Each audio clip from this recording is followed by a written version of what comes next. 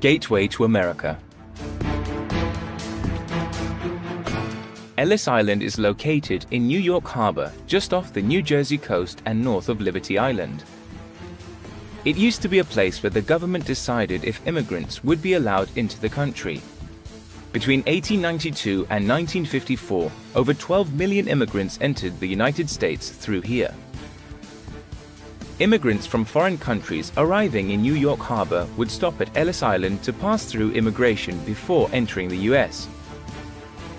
The government let wealthy first and second class passengers into the country after only a brief check on board the ship they originally arrived in.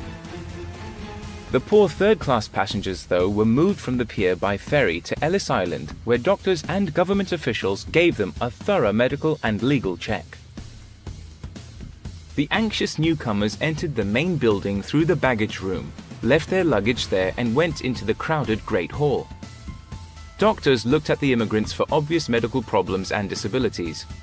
They put chalk marks on the clothes of the people they thought had something wrong with them and sent them for a full medical check.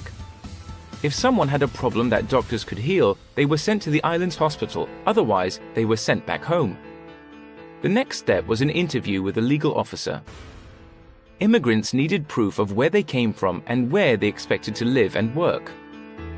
After 1921, people had to pass a reading and writing test and show a passport and visa. The next step was going to the money exchange area, where people could exchange their money for US dollars and buy train tickets. After that, the new Americans were free to start their exciting new lives.